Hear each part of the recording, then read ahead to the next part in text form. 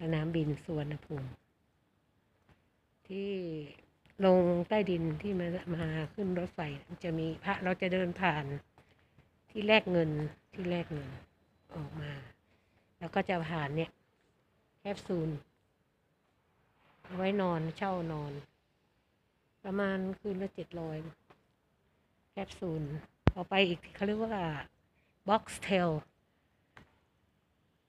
อีกนิดนึงก็จะเป็น เป็นเป็นไม้เป็นตู้ เป็นห้องห้องนะคะทำเป็นห้องนอนเป็นให้นักท่องเที่ยว ฝากกระเป๋าอ๋อนี่อันนี้ฝากกระเป๋านี่อันนี้ฝากกระเป๋าฝากกระเป๋าบ็อกซ์อันนี้นอนไม่ได้ sepatu pak